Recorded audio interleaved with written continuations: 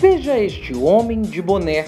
A mãe e a menina passam em sua frente. Em uma fração de segundos, ele puxa a garotinha pela mochila. A mãe percebe e tenta tirar a filha das mãos do sequestrador. Algumas pessoas se aproximam e inibem a ação do homem.